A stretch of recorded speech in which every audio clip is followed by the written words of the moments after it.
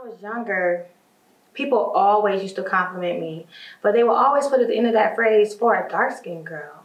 And I never quite understood what they meant, but that just made me want to dig deeper and figure out how I can beautify myself without having that phrase of for a dark skinned girl. So now when it comes to hair, nails, fashion, all that, I'm so into it. I'm so confident that it's like now they don't say that. Now they say you're just beautiful.